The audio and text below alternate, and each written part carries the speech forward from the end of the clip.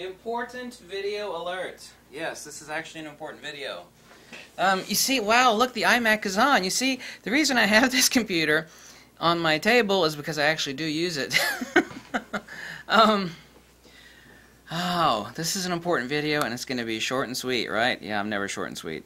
Uh, it will be short and sweet. Um, because everybody keeps giving uh, new photographers misleading information online, on YouTube really specifically, but online also, including some of the top YouTube photography channels by subscriber count.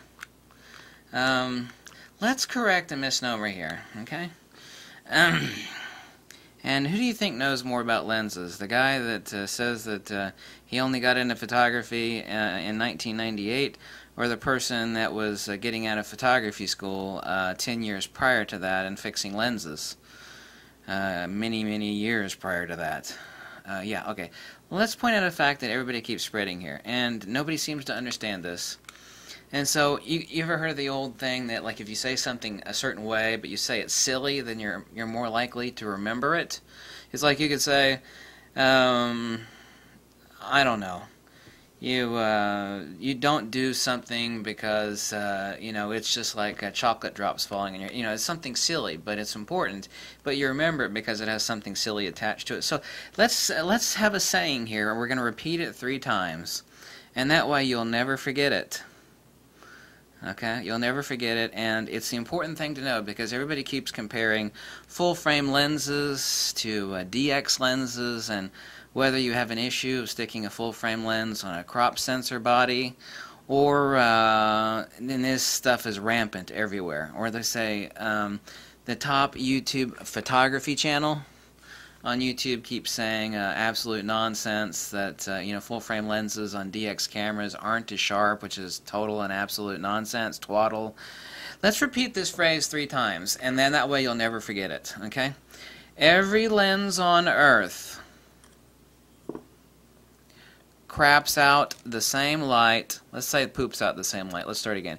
Every lens on Earth poops out the same light regardless of what is underneath it. Okay? Let's say that two more times so we never forget it. Every lens on Earth poops out the same light. That would be the, the fanny of the lens, the rear element. Every lens on Earth poops out the same light without any regard for what is underneath it. We only have to say it one more time. Every lens on Earth poops out the same light regardless of what is underneath it. Did I make that abundantly clear? Every lens ever made for any camera, full frame DX, film camera, digital camera, future camera, you know, well actually future camera could actually and uh, have uh, magnetoconstrictors for the light and uh, go off of uh, the Faraday effect, but that's that does not exist yet. Okay, so we can't talk about the future. Everything now and prior to now, yeah. Do you, do you understand what that means? Remember, a crop is only a crop and only a crop and ever a crop. A lens does not change its luminal intensity. Regardless, a lens doesn't go, oh my god, there's a smaller sensor underneath me, I'm going to change something. It doesn't change its depth of field either. Now, if you're going to change to make the image look the same, that does change things. So we're talking about your feet are are uh, are uh, are nailed to the floor, and the camera and the tripod are nailed to the floor, and you have the same lens.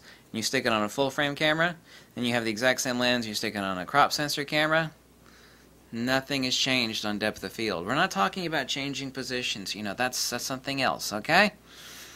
Your feet are nailed to the floor, so is the tripod, and the camera on top of it. The only thing you've changed is the bodies. I've got a 38 megapixel or 50 megapixel full frame camera here. I'm going to pop the lens on. Boom. Exact same depth of field as if you pop a uh, DX crop sensor 24 megapixel camera on there. It's the exact same depth. The only thing that's changed is the field of view. A crop is a crop, and a crop is only ever a crop, and a crop is first a crop, and then a crop is secondly a crop, and then when you take a lens, a full frame lens, and you stick it on a crop body, what happens is that the image is cropped. It's kind of like, what is a crop? It's like getting your hair cut. You know, give yourself a mohawk, or give me, like me, I give me the, the Captain Picard, the Captain Picard from Star Trek haircut, meaning bald. Okay, um, that's this was really important. Um, if you remember that, then everything that all these people keep spouting out to you will be perfectly transparent uh, for the BS and nonsense, unicorn farts, and leprechaun snot and pixie dust that it is. Lenses don't work that way. They don't give a damn. They drop the same light, and they have no idea, nor do they care, nor are they told what is underneath it. A big ass 50, 50 megapixel sensor, or a micro four thirds sensor, or a DX crop sensor, it doesn't know, it doesn't care. All lenses work that way, and all lenses have worked that way ever since the first lens came out. It's undeniable, it's irrefutable, you can't argue with it, you can't dispute it, you can't fight with me about it, you can't piss and moan about it, you can't complain about it because it's a fact. There's no wiggle room, that's the way it is. Bye.